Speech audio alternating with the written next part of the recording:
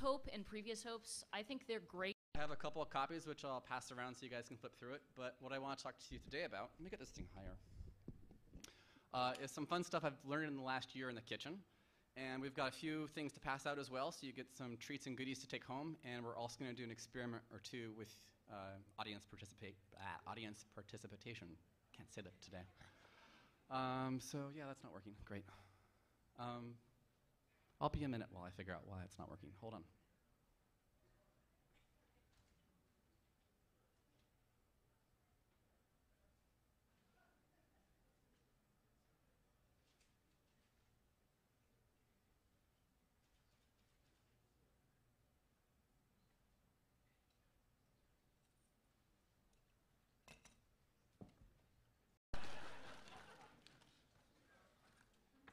We'll get there.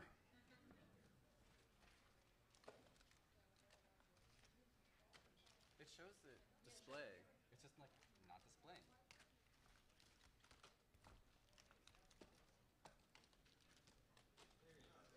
Yay! You have birthday karma magic.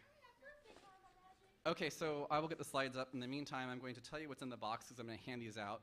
Um, these are little kits. I'll get to them in a minute, but what you want is one for every other person in the audience because there are actually two test strips in each of these kits, and I only have 50 bags, and there look like more than 50 people in here.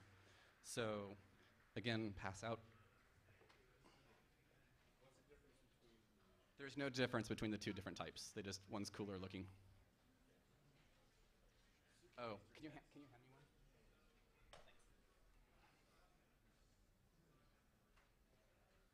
Yay!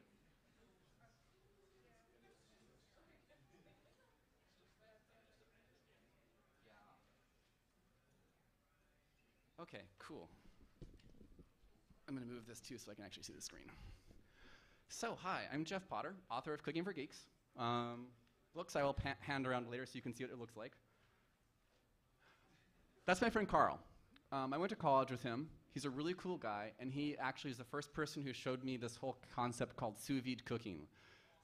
I heard one awesome. Does anyone else here know what sous vide cooking is? Ah, I like you guys. Okay, so that's an egg that's been cooked sous vide. Um, basically, when you cook an egg this way, it gets this amazing texture where the egg yolk and the egg white have kind of the same texture. It's kind of plastic, it's kind of like mayonnaise. Tastes amazingly good. Uh, here is a little video of me like cracking an egg that's been cooked this way, just so you can see how they kind of come out of the shell.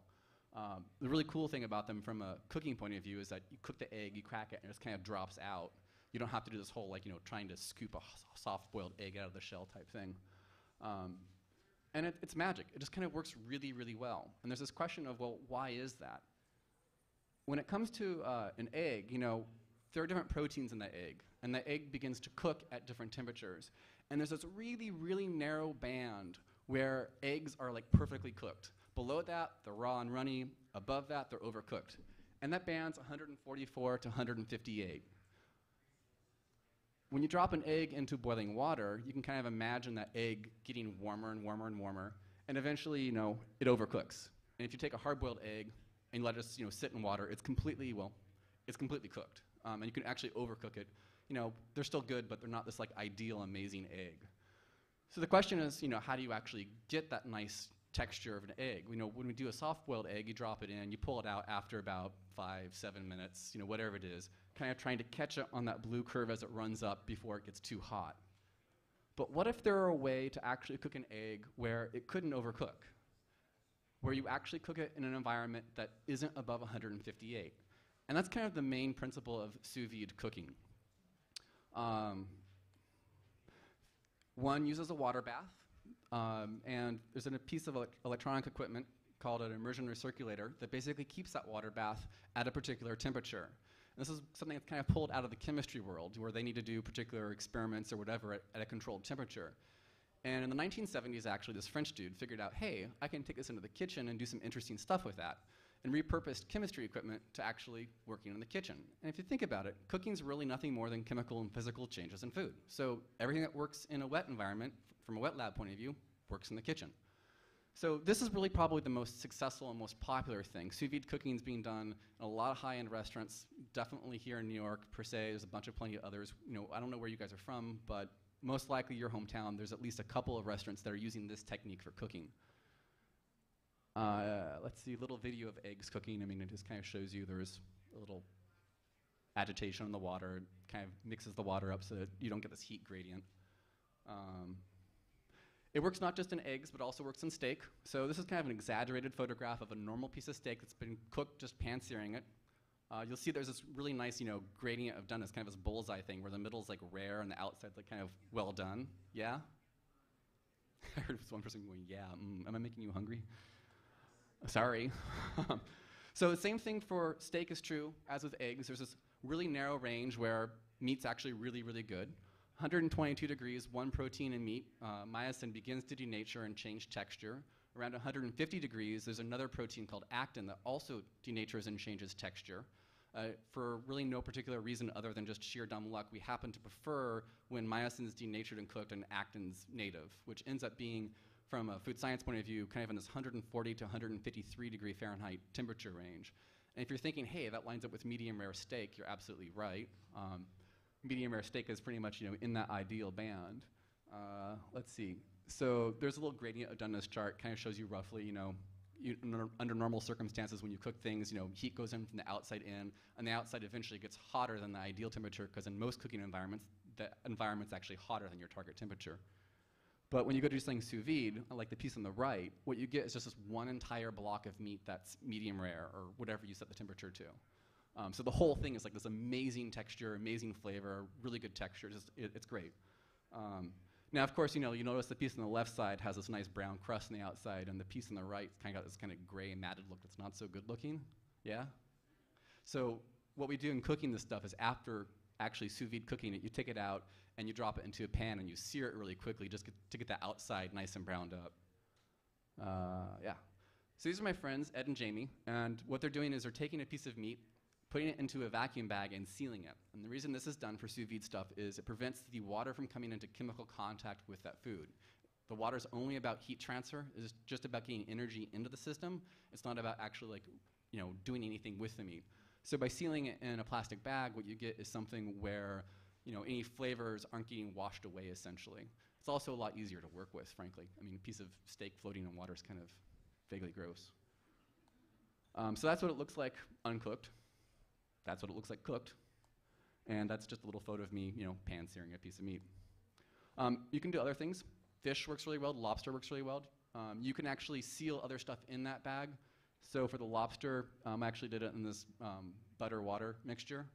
So you know, the lobster itself, you know, imagine that shell trying to get it vacuum sealed. Like that just would be impossible. But if you put other stuff into the mixture, um, you can like do marinades or whatever else. So this whole thing is sous vide stuff. Um, you know, it started out with industrial controllers, which are really pricey. You know, they're kind of in the thousand dollar territory, which is just insane for somebody at home. Um, there's a company called Sous Vide that came out with this unit called the Sous Vide Supreme this last year. Um, it's about $400, but you know we can still do. Say what? Supreme. Su- oh, S O U S V I D E. Two words. You own one? Who said that? You're the same guy that said yeah earlier. I, I do too. I mean, th- these things are great. I mean, you have, you have no idea how amazing it is. I mean, like Trader Joe's sells fish vacuum packed in bags with marinade in it. It's like it can't get any easier. You take the bag, you drop it in the water, and you go to the gym or go for a walk. I mean, thinking about that curve with the ideal temperature, the water's not hotter than that, so it can't overcook. So you can just let it sit in there for like an extra half hour. So, like from a timing point of view, as long as it's been in there long enough to actually cook, it's good. So it's like, yeah, this stuff's great. I mean, it's, it's so easy. It's like, go, trust me, try it. Um, you can make your own rig. You can go buy a JLove controller and drop a thermocouple into like a crock pot, just interpose on the power. Make sure you get a dumb crock pot, one that you know you can switch on, that doesn't then like decide to turn off and not turn back on if you cut the power. You know what I mean? So you can do that for like 70 or 80 dollars, which is you know kind of in the realm of hey, I actually am willing to go try and, and do that, um, and it's, it's definitely worth it. So that's just a really quick primer, kind of on sous vide stuff. Um, more generally, though, why do we cook? Like, what's the actual purpose of cooking? I mean, there's kind of nutritional stuff. There is, you know, some amount of it tastes better from a textural point of view. Um, but the real question is like, why learn to cook? why do we actually want to go into the kitchen when, like, say here in New York, you know, it's practically cheaper to go down the street and buy something from like Picante or whatever, and it's going to be really good and cost you like seven dollars. So, you know, think about the reasons why you cook. I mean, why do you guys like to cook or want to learn to cook? Because you have a girlfriend. Okay. What else? It's fun. Meditative. Dietary, you get to choose. We don't live in New York. Where do you live? Toledo, Ohio. You so want sous vide, man. Trust me. Um, you get to buy knives. Well, you can do that without cooking. You just, you know, have knives. Um, so there's this kind of nice little simple model about cooking. You can think about it as inputs. These are your ingredients, things you actually go and buy at the store. Cooking is the actual bit of, you know, I'm going to change this thing. I'm going to slice it, do some chemical, physical modifications, blah, blah, blah. Sensations are like how it smells, how it tastes, kind of, you know, what the objective, everyone would agree that thing is pink, for example. And there's kind of perceptions. And these will be things like your emotional reaction to it. Hey, this reminds me of my childhood, or my grandmother's brownies tasted like this. Um, so there's this researcher down at Cornell, a guy named Brian Wansink, who did this study of about a thousand cooks, asked them a bunch of questions, did this k-means cluster analysis, and came up with this really nice little typology of like five types of cooks. And it actually turns out to be really kind of fascinatingly useful, because when I'm talking to somebody about why they cook, I can pretty quickly go, oh, you're like this type of person. And he really kindly developed this five question quiz, which I just so happen to have. So the way this works, um, I'm going to run through each of the five questions. Just keep track of which letter you're answering. So if there's five, there's five questions. So if you answered, say, A on all five, then you're type A. It's like not that difficult. So you don't even have to write it down, but you can if you want. Um, so you guys ready? Okay. When I cook a meal, I typically dot dot dot.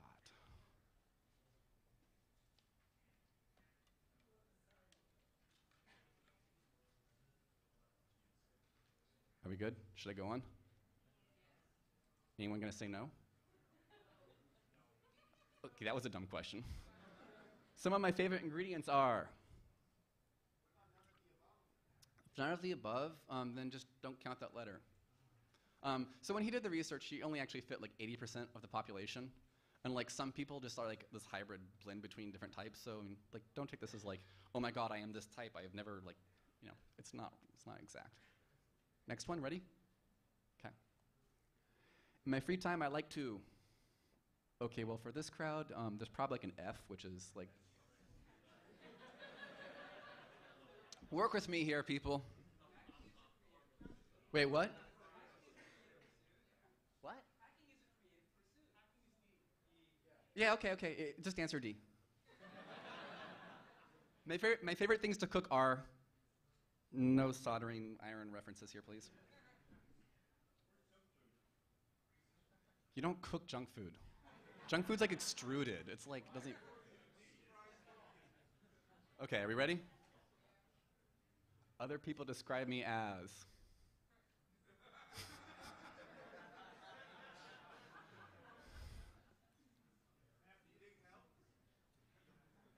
I should go through the slides and edit them and add type F at the end, which is like next hope attendee. Okay, so everyone kind of had a chance to get their letters down, figure out what you are, drum roll. Okay, so here are the types. So um, giving, this is somebody who like, you know, shows nurturing and affection through like baking and taking it to their work or, you know, whatever. Um, healthy, this is somebody who like, you know, brown rice, veggies, fish, steamed stuff, and like could care less about, you know, how it looks or how it tastes. Methodical, this is somebody who like, you know, can make it look just like the picture, but like their kitchen will look like a nuclear bomb's gone off, but like it'll look just like the picture. Um, innovative, this is somebody you know reads a couple of recipes, goes into the kitchen, goes, hmm, yeah, I'm gonna try this instead, and you know either it comes out or it doesn't, but they're happy with it, or they're not and they don't care. Uh, and then the last type's competitive, you know, intense perfectionists. People who like to grill generally fall into that category. Not that there's anything wrong with grilling, I like to grill too. Um, so just a show of hands, um, who is A?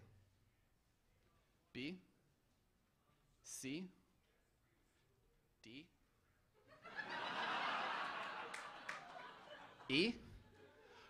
So the interesting thing is the general population was like 20% for each of these. so here we have scientific proof that you guys are not like the rest of the people out there. So going back to that little chart earlier, you can kind of roughly map that type onto what your motivations are. So for me, like, you know, I'm, I'm kind of a blend between B, health given, uh, health conscious, and D as well. But definitely, you know, that cooking bit and thinking about the inputs for me is really important. There's also, you know, the other reasons. And understanding that when you go into the kitchen is really important because if, you, if you're like, say, a health-driven person and, you know, broccoli and brown rice does it for you, and like you're dating somebody who's like, you know, this person who likes to bake baked goods all the time, like you're just, you're, you're by definition almost going to set up this kind of aggressor type thing between the two of you. So understanding that it's not, you know, it's not her, she's not trying to get me fat or, or whatever it is, you know, it's just people have different types. Um, so besides like, you know, psychology, there's also physiological differences in the way we taste and how we are. That's where this thing comes in. Um, some people will taste these things, or I should say, some people will like these things more than others for actually an interesting physiological reason called super tasting. Um, who here has heard of this before? Oh, cool. You guys are well informed. Who hasn't heard of it? That's a better question. Okay, I like you people. Okay, so if you've done this before, skip actually doing it. And how far back did we get with these? Who does not have or sitting next to somebody who has one of these? Ooh, sorry, back half of the room. Um, consolation prize for you later. Um, so what we're going to do is go ahead and open this up. I'm going to toss this one back so somebody can catch it back there. Maybe. Um, so yeah, pass that back. Um, so there's two little strips of paper in there. Hand the person sitting next to you one of those. Um, don't put it in your mouth. Don't do anything with it yet. I swear it's not LSD. Um, yeah, it's great. Like I'm giving out little strips of paper that are like coated with chemicals, and I'm giving out white powder. Like, I'm surprised I haven't been arrested yet. Okay, so the deal with this is it's it's, um, it's basically a genetic test. I should give you two warnings. Um, one, some of you won't like this. So like if you if you don't want a bad experience potentially, and there's a little candy in there. You'll know if you need that. Um, the second warning is technically it's a carcinogen, so it's a really really minor dosage. It, it's not going to do anything. So is the flight to get here, she says. You flew? okay, so go ahead and stick that in your mouth. Little paper. Don't swallow it, just on the front of your tongue. Who, who said that? The candy's for you. She's like, this tastes like shit. Icky, horrible? Okay, so the people who are saying icky and horrible are like this my, my um, person on the, on the left here. Some of you kind of maybe tasted something. Like you can taste it, but like you don't get what is that people are complaining? what? Evil aftertaste. Aspirin. Sour, bitter. Bitter. Okay, and then some of you are like the person on the right, John, who just like, you know, tastes like wet paper, right? okay, so the deal with this is that some of us actually taste certain set of compounds, really bitter. Um, others of us can kind of vaguely taste it, and some of us don't taste it at all. Um, this is called super tasting. If you're looking at the percentages here, it, uh, it is genetic. It's two genes. If you've got both dominant, then you are super taster. If you've got one or the other, um, would gum affect this? Um, it might, but I don't think so. Um, why, you didn't taste anything? Yeah, you're a non-taster. Sorry. Now, a lot of people are like, oh, well, I had food in my mouth. I should do it again. It's like, no. You know, you'll know if you, if you taste it. Um, so then, yeah, it- it's a genetic thing. Um, you know, if you've got both dominant alleles, you're super taster. If you've got one or the other, then you're a medium. Um, and if you don't have either, then you're a non-taster. Um, it is differ based on gender. So females are actually a little more than three times likely to be a super taster. And it also differs based on ethnicity. So Asians are actually more likely than Caucasians um, to be super tasters. Um, so on that piece of paper was this chemical called phenylthiocarbamide. Say that six times fast. Um, it doesn't actually exist in nature, but it's similar enough to compounds that do exist. Oh, different slide. Oops. Um, yeah. So tasting. Um, it's just one of many thousands of compounds that we're able to taste. Like it was discovered completely by accident in the 1930s by this DuPont chemist who like spilled some on his counter and he didn't notice. And like one of his lab mates was like, "What's this bitter taste?" Um, and, like all good researchers in the 1930s, he started testing on family and friends, you know, before OSHA. Um, like I think I think researchers today are jealous of this guy because he could just like say, "Here, try this." Um, so there, there are other compounds that are probably more more significant than phenylthiocarbamide. Um, but it's one that we happen to know about. I mean, there's something, something with cilantro. We know cilantro is genetic, but we don't actually know yet specifically what it is. But you know, about 11% of people, just, it tastes like ivory soap. Um, say what? It's really disgusting, says the guy here. I happen to like it, so it's a, it's a genetic. And this is this goes to the point of like, if we were if we were if I was cooking for you, like I'd have to know that there's a difference in physiologically that you don't like it, and keep that in mind even though I love it. So uh, you know that, that kind of goes to the point. Um, when it comes to phenylthiocarbamide, it doesn't exist naturally, but it's similar enough to compounds that do exist that um, people who are super tasters are less likely to smoke. They're more likely to add sugar or milk to coffee or tea to kind of cancel out that bitter flavor. Um, they're less likely to eat green vegetables, and there's some thought that they're actually more likely to have certain forms of cancer because the gluc- uh, which I can never say, um, actually supposedly help prevent certain forms of cancer. Um, sugar tastes up to twice as sweet. There's other differences for super tasters as well. Things like capsaicin, what makes hot peppers hot, um, carbonation, soda, things like that, tend to be more uh, irritating, quite literally from a cellular level, to people who are super tasters. Uh, my, my poor friend Shimon, immortalized in this great photograph. Um, if you don't have one of these test strips and you really want to try this, you can put blue food dye on your tongue because the papillae, the little taste buds in your, your tongue, don't actually stain blue, and you can count the number of dots like in a three-hole punch area. It's kind of a rough way of doing it as a proxy. So if you're like watching this like on a video, um, you can try doing this. Um, it kind of works, but it's kind of hard to do. But it's doable. It just put it out there kind of as a note. Um, when it comes to bitter, when, we come, when, it, when, it, when it comes to bitter in cooking, um, we use salt to kind of cancel out bitterness. So things like quinine, um, this is what's in soda or um, tonic, sorry. If you put salt into that, it'll actually become less bitter. So it actually literally cancels it out. So if you're somebody who can taste certain bitter compounds, you taste them more, you're going to use more salt. So if you're like say cooking some Brussels sprouts and you throw salt on top of it to kind of cancel out that bitterness, and you taste Brussels sprouts as more bitter than somebody else, to them it's going to taste too salty. So keep that in mind too when you're cooking for somebody. You know, it's not a bad thing to necessarily leave like the salt out on the table for people to kind of adjust the seasoning to their own personal preference, because there really are like literally genetic differences.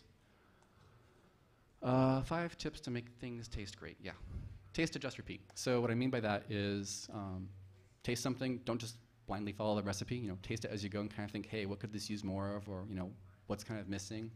Uh, balance of salt and acid. So we tend to think about you know seasoning as being just salt, but there's actually five or so primary tastes that you can kind of adjust. So you know a little bit of vinegar, a little bit of lemon juice in something can often kind of add the dimension that's missing in a dish. Um, primary taste, salt and sweet. I did this demo earlier this week with feta cheese and watermelon. It's like you can just make a salad of feta cheese and watermelon, a little bit of red onion. It's really, really good. And most people are like, I would never think these things would go well together, but they go amazingly well. And A lot of that kind of comes down to, well, these primary tastes, you know, certain things go well together as primary combinations. And in fact, kind of any double of primary taste ends up having something that matches, with the exception of, I think it's like bitter and I'd have to look it up. There's like one I couldn't find an example for. Um, but it's kind of a good thing to keep in mind. Like, you know, if you've got something that's very kind of one-dimensional, think about it from a taste point of view, not necessarily from a smell or odor point of view, and think about what are the other primary tastes that might be good to add in there. Um, thermometer over a timer. Um, going back to kind of my sous vide bit a little while ago, when you're looking at, say, a, a piece of steak and you're cooking it, what matters is the chemical reactions in that steak. The protein's actually denaturing, and those things happen at certain temperatures. And yeah, to be to be full, uh, well, to be clear, you know, it's a time at temperature reaction. But it's not like your your chicken. Let's say you've got a six-pound chicken you put in the oven, and your timer says 45 minutes. It's not like 45 minutes matters. What matters is the internal temperature of that chicken for these chemical reactions. So when I say thermometer over a timer, you know, timer's a good reminder of hey, time to go check it. But really, using a thermometer is a great thing, especially in cooking meats. And finally, don't poke at things that are searing. If you've got some stuff in a pan, you know, and you're like you're trying to sear the outside of that steak, it's conforming to that pan really well when you drop it in initially because, well, the outside of it's raw and conforms well.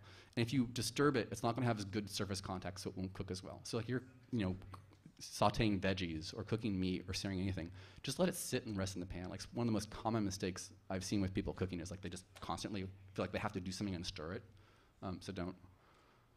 Uh, okay, I'll take a break here for a minute, and um, I'm sure there are probably some questions because I know I've had a few people look at me. Go for it. Two questions. Sous vide at 143, okay. Can you overcook meat after 24 hours at 143? Um, I'm going to say no with a little asterisk. Um, no, you can't overcook it. And in fact, you can make really good brisket that way. So things like collagen actually take a long time to hydrolyze and denature and break down. Um, this is why like duck confit, like you have to cook it for like at least four to six hours before anything happens, because it's not literally just a temperature reaction; it's a time at temperature reaction. Something will change. And the little asterisk there is that there are some types of meats, and especially fish, where there are certain enzymes that are present. Those enzymes will begin to react and break down the flesh. So if you if you do fish, um, you'd actually do fish at a lower temperature because fish myosin begins to denature around 100.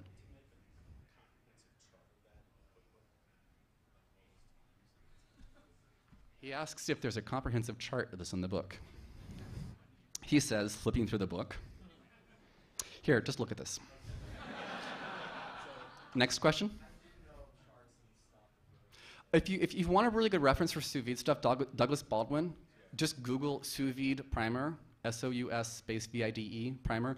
I interviewed him in the book, so there's, there's an interview with him in there. Um, you can email me. My email address will be up in the last slide. I'm happy to answer questions via email. But he's got this great, you know, kind of chart of thickness of meat, time, and temperature. Um, and we'll get a little bit into the food safety stuff because there's a little bit of stuff you need to know that's, you know, don't just go do it. But 143, given sufficient hold time, you're totally fine. Salt cancels out bitter, he asks.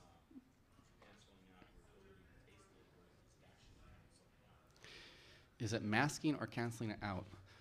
Um, I'm not a physiologist. That's a really good question. I don't think it's actually, I could, I, could, I could take an educated guess. I mean, you have different receptors on your tongue for salt, literally like ion gap receptors. It's not, no, I don't, I don't think they're actually bonding and like forming a different thing. I think it's still there, but like, but that's just an educated guess. Um, other questions? I'm gonna go with the guy in the red, I'm sorry, black, whatever color it is. You know, sous vide question, uh, question was, is sous vide cooking useful for veggies? Um, I personally don't find it so, normally. There are people that, you know, if you look at Under Pressure by Thomas Keller, he's certainly got stuff in there for like asparagus and stuff. Um, veggies undergo this really interesting phenomenon around 55 degrees Celsius, 60 degrees Celsius, like 130, 140. Um, they actually get um, firmer it's like really counterintuitive, but if you like take a carrot and you cook it at 60 C, the cell walls actually um, there's crosslinks that occur in calcium ions in the cell walls that actually fortifies it stronger. So if you actually look at um, carrots in like uh, commercial soups, you know, canned soups. Think, think, think, think about canned soups that have you know, all these veggies in them. And, like you take it home, you heat it up, and like the carrots are still firm. Like how do they do this? Because you know it's not like they're like they're carrots. You know they're growing in the ground. And if, if we do that ourselves at home normally, you know, try putting some carrots into a stew. Like half hour later, they're mushy. Um, and what they're doing is they're holding them at 60 C for like half an hour, which firms up the cell walls. So I mean, there are some like industrial applications where it's kind of useful and kind of cool, but I don't know if I feel like making canned soup and storing it. You know, I usually eat it. Um, so I mean, the other thing, the only other thing I really do with sous vide and veggies is like I'll sometimes take bok choy and like cut it in half and like drop it in the water along with the, maybe some steak tips I'm cooking. I mean, it's, it's water. It's just don't, you don't vacuum seal at that point. You're just basically kind of power cooking it, and then I'll drop it into a pan and steam it or sear it really quickly. And there, it's just well, it comes to temperature faster. It's basically preheated. But from an actual cooking point of view, I personally haven't really found anything that's like, oh my god, this is easy and amazing and tastes really good. I mean, if you're, if you're in the commercial restaurant world, yeah, absolutely, there are things they do, but they're kind of beyond what I found worth it. Um, green shirt. Okay, I'm sorry. Can you speak up?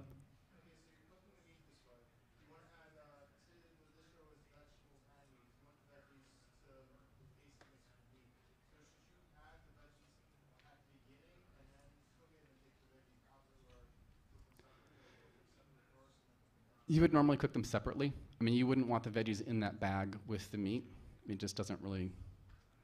I can't really think of any applications where you'd want to do that. I mean, you, you maybe you would for like, you know, a, I don't know, sage on the outside of something where you want the flavor present in the meat. But if you actually think about marinades and meat, marinade doesn't actually get very far into the meat. It only gets to like in the first millimeter. So in terms of like getting the flavor into the meat, unless you're brining it for a long period of time, like the flavors aren't going to transfer from the veggies to the meat. And in terms of like the veggies themselves picking up flavors from the meat, you're to pan sear the meat probably afterwards. So toss your veggies in that pan if you want to do that. But in most cases, I haven't really, you know, I haven't noticed it being different. I'll put it that way.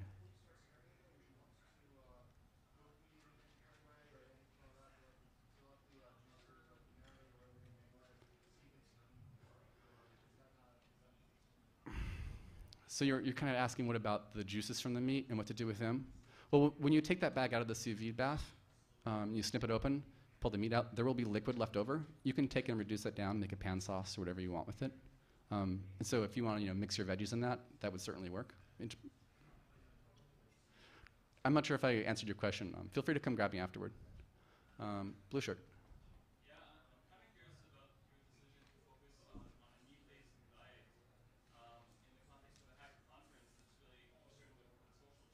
Sure. So you're kind of asking about. Um, say what? Uh, y- you know, I look at it kind of from the science point of view, and I'm, to, to be clear, I'm only talking about like 10 pages out of 400 so far. So the book itself really has a lot of different stuff, including kind of discussion of, hey, environmental impact of, say, you know, beef versus chicken versus fish versus veggies. Um, I'm, I understand where you're coming from, and I kind of share a lot of the same concerns, absolutely.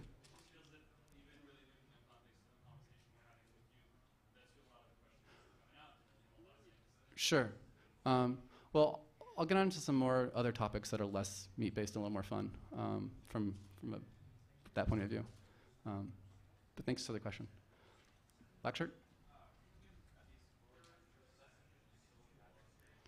Cooking at sufficiently low, uh, s- you're asking if the bacteria and bacterial, what the bacterial concerns are.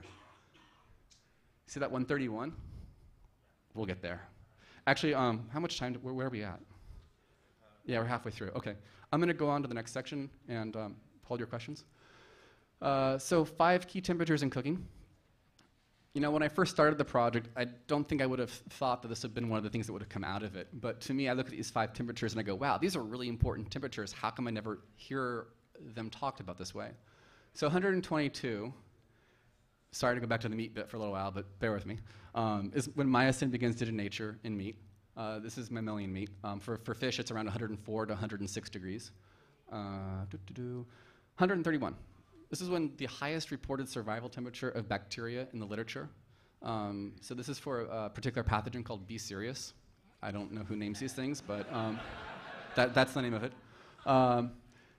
So the thing to remember about bacteria is it's not like they instantly die at 132 the food industry kind of has this danger zone rule that says you're not supposed to hold food between 40 Fahrenheit and 140 Fahrenheit for more than two or four hours, depends upon what state you're in. Um, but the, the assumption there is that you know bacteria basically can multiply within that range, and outside that range, you're basically safe. But the reality of it is, it's not like the bacteria are reproducing like full on at exactly 40 degrees, and at 39 they're doing absolutely nothing.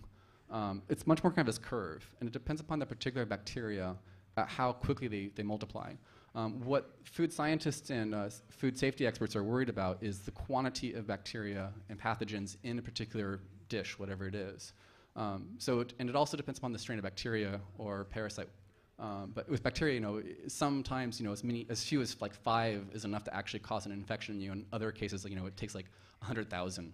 Um, so really, it's not just like are they present or are they not. It's not a binary. It's a question of how how um, how much exposure is there there and what the probability is. So from a food safety point of view, you know, the numbers that they give publicly are really all about this probabilities game of trying to make sure that from a probability point of view, you're safe. Um, because really, at the end of the day, you know, it sucks to have foodborne illness. And just to give you some numbers on foodborne illness, um, CDC estimates about 75 million Americans a year come down with something from foodborne illness. So most likely, you know, you personally will have two or so foodborne illness incidences in any given decade. It's fine if you're a healthy young adult male like me, but if you're, you know, pregnant or really young or really old or immunocompromised, you know, it, it can lead to much more serious complications. So when it comes to the bacteria and actually holding stuff at temperature, um, this is a curve for time at temperature. This is from the uh, FSIS, which is a group under the um, FDA for, sorry, USDA, for how long you need to hold. In this case, this particular one's for lean chicken breast, um, poultry. Um, you have to hold that chicken breast at 136 degrees Fahrenheit for over an hour, almost an hour and a half, to actually sufficiently kill any salmonella that might be present. And the reason for that is that they don't die instantly. And kind of the analogy I like to give is imagine being in a desert. You know, it's 120 degrees. Actually, imagine like 100 of you are in a desert. It's not like at three hours and 59 minutes, you know, everyone's going to be alive, and at four hours, you're all going to suddenly die. Um, it's going to be kind of some fall off.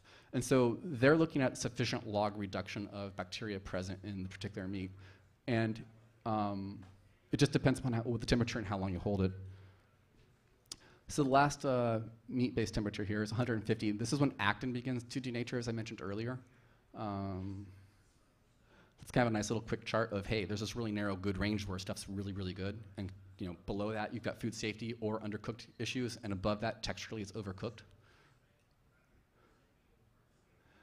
Last two, Maillard reaction. Um, this is a really well-known one. This is the Browning reaction in proteins with simple sugars. So things like bread, when you actually look at bread in an oven, you know, it starts to turn brown. The surface of that bread is like 310 degrees. And this is like one of the best moments for me in writing the book was I have an IR thermometer. It's basically looks at surface temperature of things. It's like best geek toy ever. Like go get one.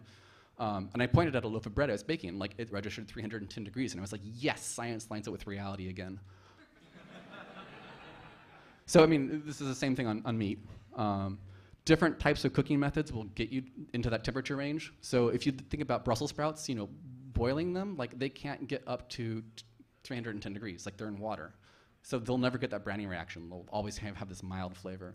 Whereas if you cook them with a method that can get that hot, then you're able to actually get those reactions and get the associated flavors. And the last one, 356, caramelization. Um, basically sugars breaking down, and when they break down, they then like form hundreds of new compounds and basically we like those flavors for some bizarre reason.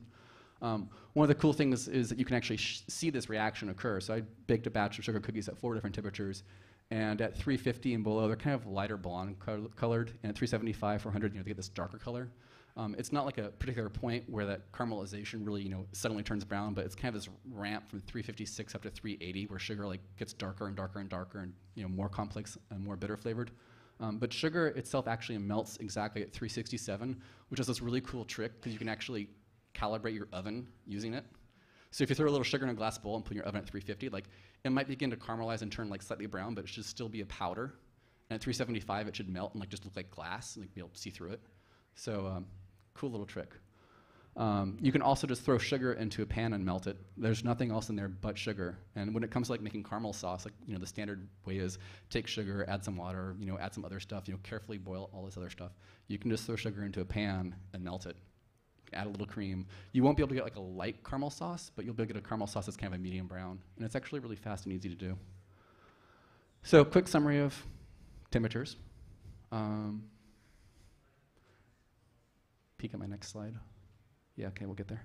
Um, I'll stop again here for a minute and take any questions.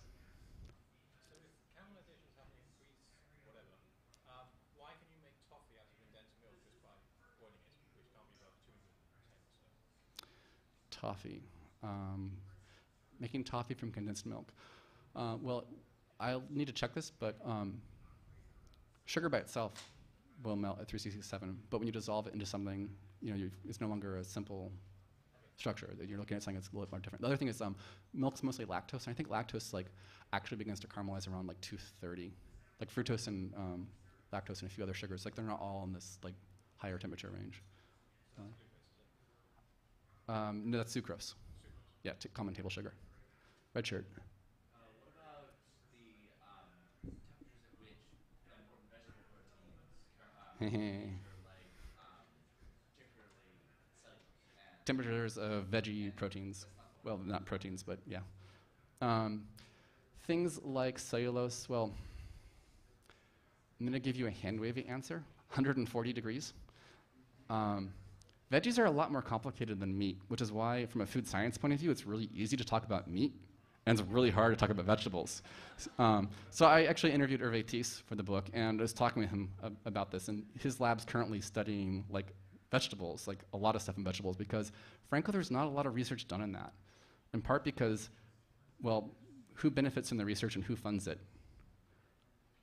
It's just really hard to get funding for some kinds of research where it's like it's not applicable in industry kind of to some degree. So yeah, there's a lot of things we don't know about food that really surprised me actually. It was like how little we know about food science yet, how much, you know, it, how, how important it is to us from a cultural point of view and from an industrial point of view and from a, you know, earth life balance point of view. Yet at the same time, you know, it's really complicated.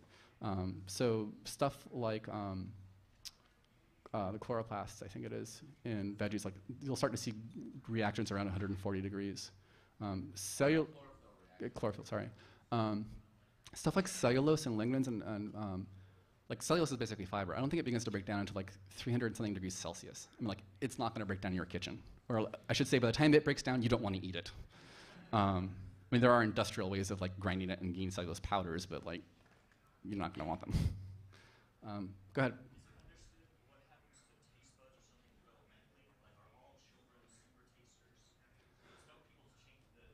Change, changes in yeah, changes in taste over time. Is that kind of what you're asking? Um, super tasting does not change over time. You either are or are not. That's the genetic thing. Um, there is a like slow loss of sensitivity of taste, starting kind of in your late 40s, early 50s, and it's kind of gradual. Um, with think, well, kids with bitterness, yeah, there's an aversion to bitterness from a physiological point of view, just because most poisonous things taste bitter. Like it's kind of like a survival thing, I guess. Um, but it, it ends up being that we can kind of learn to like bitter things. It's, it's a, something that you know we, with exposure, learn to like. Um, and there was one other, oh, uh, right, uh, hot things. Hot things are really interesting, actually. There's this neurotransmitter called substance P. Um, P stands for pain, go figure. Basically, um, it gets depleted. So if you eat spicy food, like this neurotransmitter that helps your body recognize, hey, there's something hot here, like it slowly depletes. And like it takes a couple of weeks, but after a couple of weeks, you can actually kind of deplete your levels down. And then it takes a couple more weeks for your body to replenish it if you stop eating spicy food. So th- this is where these stories, these really great stories of Indian students back in like the 80s coming to you know the United States, studying college, eating dorm food, going home, eating their mom's cooking, and going, "This is too hot, I can't eat it," and their mom's going, "What has America done to you?" Nothing other than they didn't serve you enough hot foods. Your substance P levels didn't deplenish, you know, replenished. Um, so yeah, you can actually build up a tolerance to like specifically capsaicin and hot and hot things. Um, so I mean, yeah, there, there's that as well, which is actually really cool. Um, go ahead. Back to meat. Dum dum dum dum. Umami and savoriness. Yes. Um, well, it's basically glutamate. So it's one of the five primary tastes that we know we have receptors for in our tongue. Um, it doesn't break down with heat. So there are certain ingredients that have a lot of glutamate in them naturally. Um, things that go on pizza just happen to have a lot of glutamate. Tomatoes, Parmesan cheese, mushrooms. Um, there's a reason why I think pizzas are so well liked. um, but yeah, I mean, MSG has kind of gotten a bad rap in this country. But like, if you want more glutamate, like small amount of it, I mean, it's gonna hit those receptors. Um, but does that answer your question? Okay. Uh, white shirt.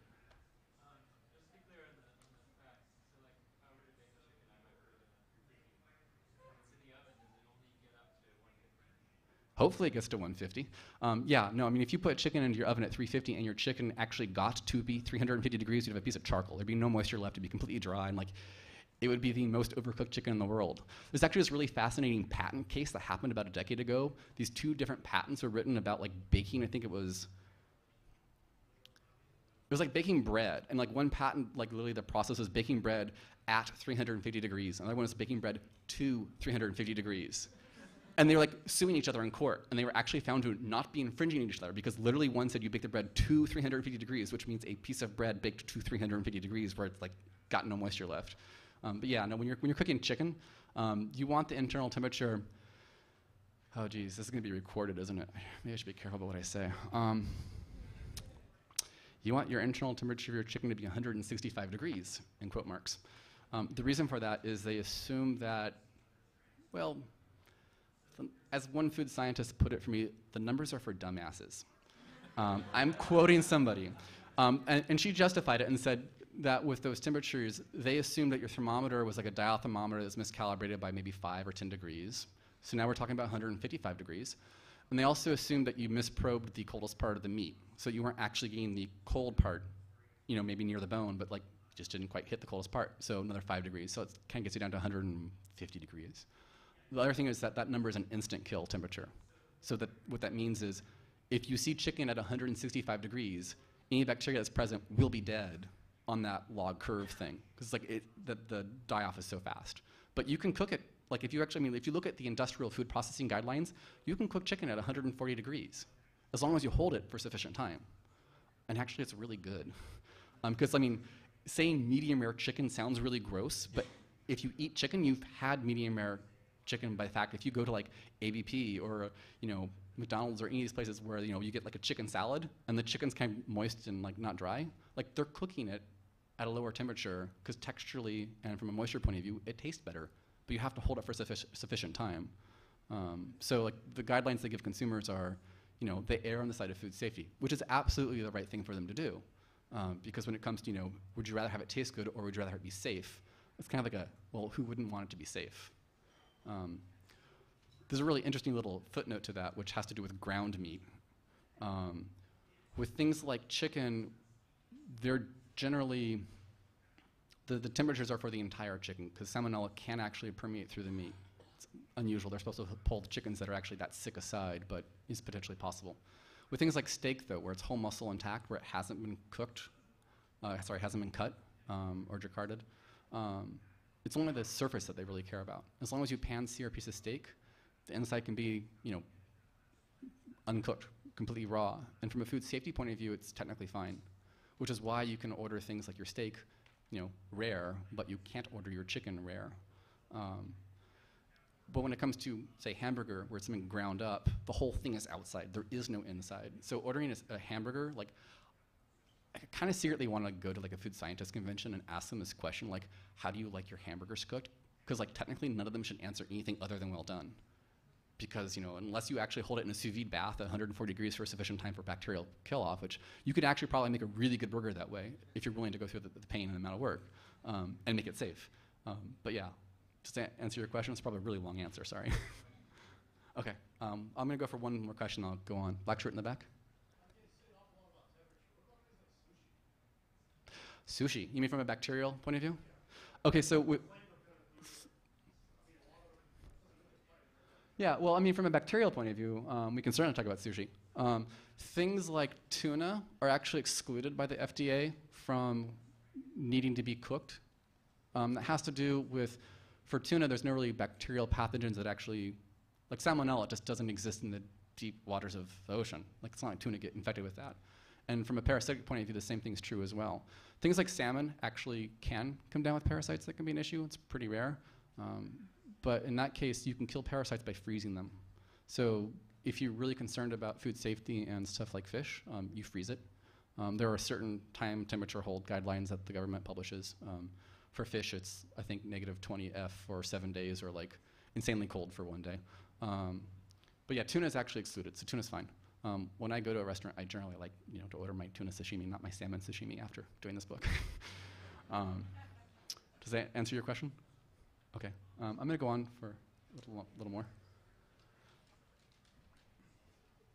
Oh man, I have to go really fast because I have like 13 minutes left. Should I go really fast and like blast through this, or should I just like cut the last bit of it out? Blast? Okay. Unusual temperatures. That's my oven, 845 degrees. If you clip the lock off of it, you can put it on clean cycle, open the door, and put your pizza in at a really, really hot temperature. it's wicked awesome. And the reason for this is that stuff like pizza, if you actually go down to your local pizza joint that makes really good flat crust pizza, they're doing it on a fire that's like 800 to like 1,000 degrees. I actually went down to the pizza joint in Cambridge where I live and like took that little IR thermometer. That's what it looks like. Best cake toy ever, as I said. Um, and metered it. And theirs was like 1,000 degrees. Um, you can cook a pizza in about 45 seconds. And it comes out fucking delicious. but you might break your oven. So um, on the left is the surviving pane from my oven. On the right is a piece of pyroceram 3. It's what the U.S. military used in the 1950s on, on nose cones of missiles. It's heat rated and stable to like I think 1500 degrees Fahrenheit. Um, so basically, I, I cracked my oven through thermal shock. Like a little drop of pizza sauce like fell, hit the glass, and it went.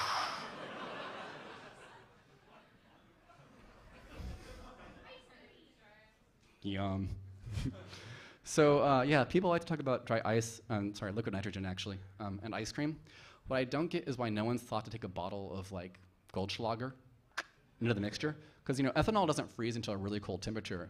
Liquid nitrogen's colder. so you can make like ice cream as like an entire shot in a scoop and like get hangovers from ice cream and it's really, really good. I was gonna do a demo for you guys today, but I didn't have a liquor license for New York. Um, so there's this thing called an anti-griddle. Uh, it's basically a plate that's really cold. You can think of it like a griddle, but instead of making things hot, it makes things cold. They're really expensive. I couldn't get my hands on one, so I made my own. Um, dry ice with ethanol with a six-inch square plate of steel from McMaster-Carr um, basically gives you a cold service, and my handy-dandy IR thermometer tells me like cold. you can do things like spray like mousses and stuff on it, and like get this thing that's like a pancake where the the middle's like warm and like good, and the outside's like hard and set, and like pick it up like a little sandwich and like eat it. Um, if you look at a lot of modernist cuisine stuff, like Alinea or um, El Bulli over in, in Spain, like they use this stuff to do unusual things from a temperature point of view. But it's really cool. You can play with it. Speaking of El Bulli and Alinea and Fat Duck and places like that, um, who here heard, who here has heard the term molecular gastronomy? Who here likes the term molecular gastronomy? So, in the culinary world, it's pretty much despised as a term, which is kind of, um, it's been an interesting thing to learn more about. Um, Hervé This, who's kind of responsible for coining the term, himself says that molecular gastronomy is what you do in the lab. It's the study of physical and chemical changes in food, and that what you might do in the kitchen would be maybe molecular cooking. Um, you know, I've heard somebody else say modernist cuisine, um, but you know, playing around with stuff in the kitchen, you know, it's kind of like fashion on the Paris runway. 98% of it kind of is bad, and 2% of it's really awesome. So it gets us kind of a bad rap sometimes of doing unusual things in the kitchen because a lot of times you see the knockoffs where it doesn't really work. But when you see something where it really is magical, it's amazing. So a lot of um, modernist cuisine stuff, for lack of a better term, relies on food additives. Uh, these three things all have food additives in them. Here's a nice little handy dandy table. I'm going to skip, it's in the book. Um, this is a little video of me taking one of these um, gelling agents and actually like just playing with it. So that's water, 98% water and 2% carrageen. Um, you can do stuff instead of water. You can do stuff like this. Is what? we know where your mind is. So this is 98% rum.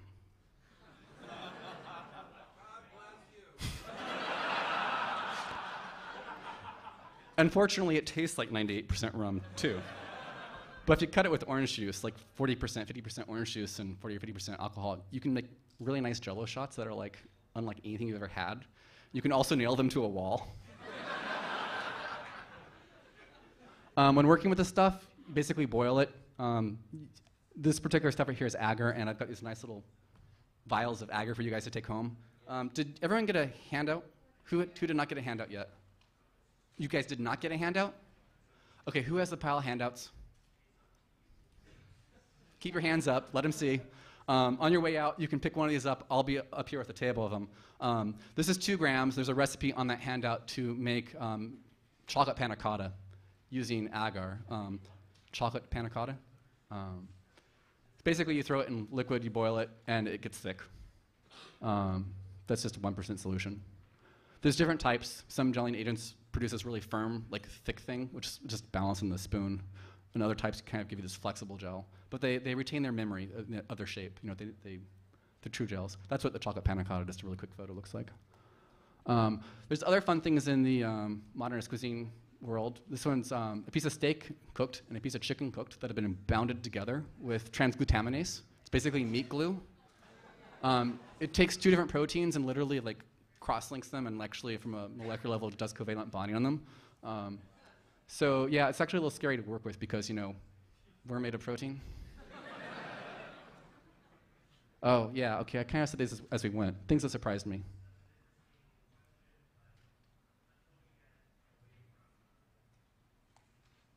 Hey, what do you know? So we probably just have time for a few questions. Um, go for it. Favorite source for buying things? The internet.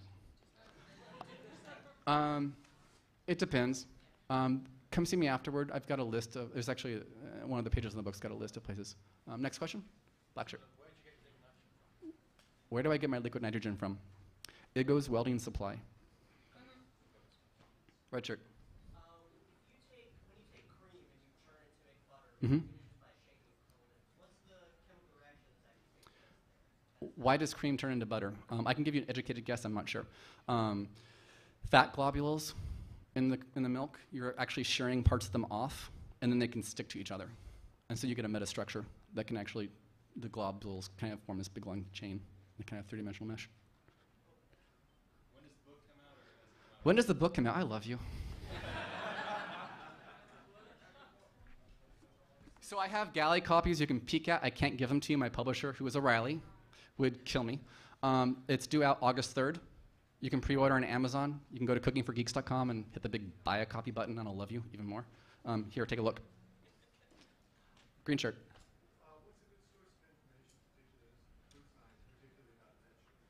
Good source for food science about vegetables.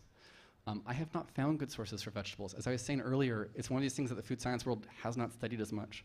Um, I mean, you can get into the journals. I mean, go look at Food Science Journal. I mean, there's for vegetarians. Broaden. Um, yeah, I, I realized, you know, based on the gentleman's comment earlier, that I have talked a lot about meat, which really sucks for you vegetarians. But I swear, there's a lot more of interesting stuff in the book. Like, it's not like meat heavy. Um, good source. I will have to think about that. Send me an email and I will dig up more. Red shirt. There's actually a book which I have read most of called On Food and Cooking. Yes, Harold McGee's book on food and cooking. Yeah, and it's it actually has a, a lengthy discussion about about like cooking stuff and how Mhm. Yeah. pH is really important, actually. So a lot of the temperature things that I mentioned earlier differ by pH. Um, I mean, like pH will affect it. Um, things like Maillard reactions, um, pH will definitely affect the temperature that they happen at. Um, you can actually get down to room temperature. Um, self tanning, instant tanning stuff is a Maillard reaction. Black shirt.